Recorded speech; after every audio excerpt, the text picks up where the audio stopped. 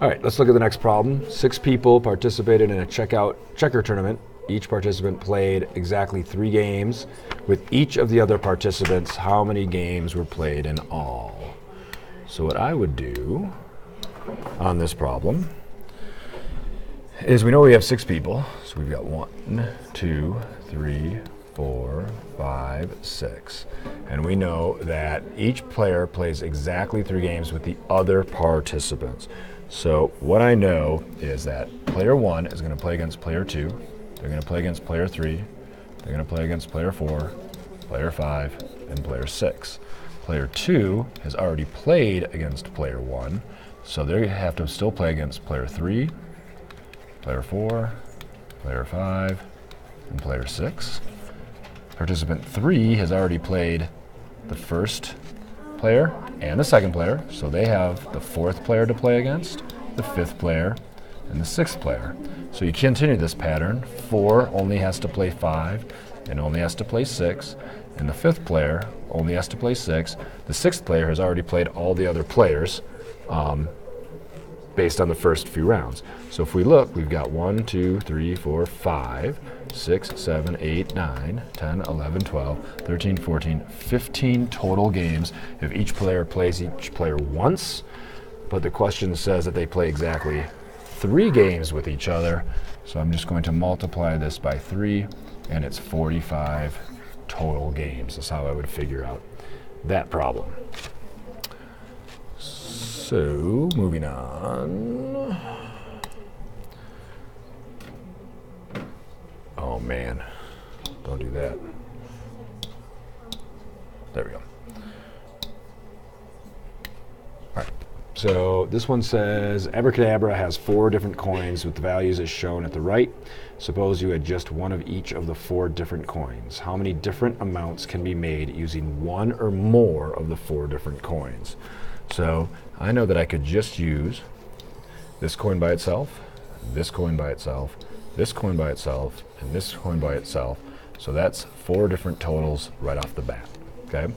I know that I could take the coin valued at one and combine it with 2.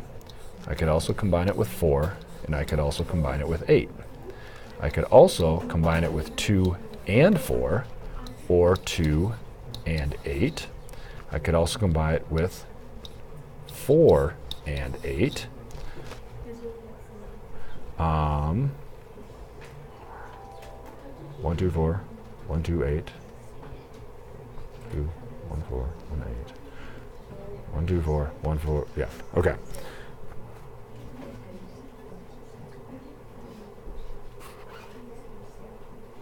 Uh, just making sure I have all that. All right. So then I know that coin two. So this is sorry. One, two, three, four, five, six more ways to do this. Okay. So then I could also do. I could start with coin two, which I've already done by itself in this four count. I've already done it with number one, so I could do two and four and two and eight, or I could do, and I could do two with four and eight. So if I did that, that's three more ways. And the final coin I have is worth eight, which I've already done by itself, counted in this. I've already done it with number one. I've already done it with number two. I've already done it with some other ones. So I'm sorry, I'm on coin four, not coin eight. So four I've done by itself, four I've done with one, four I've done with two. So I could just do four with eight. So there's one more way to do it. So that's 10, 13, 14. So the total amount of ways are 14 different ways. All right.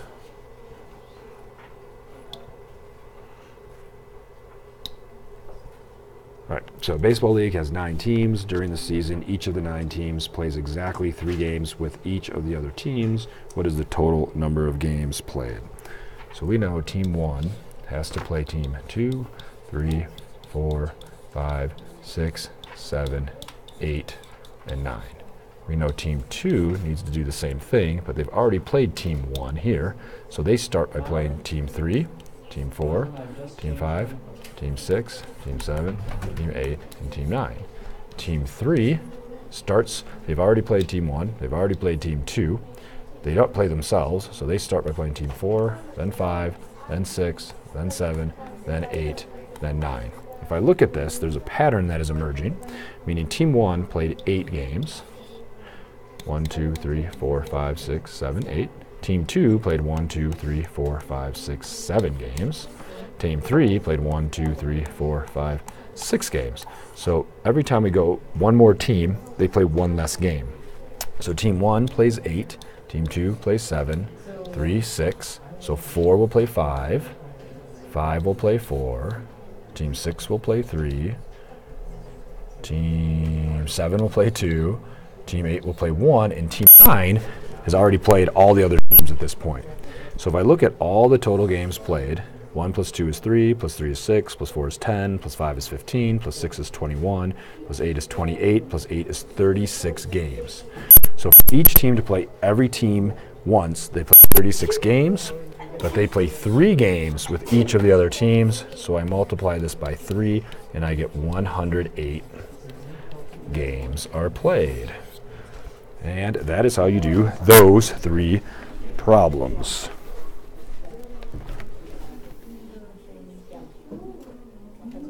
How do I stop this, Kirk? How do I do?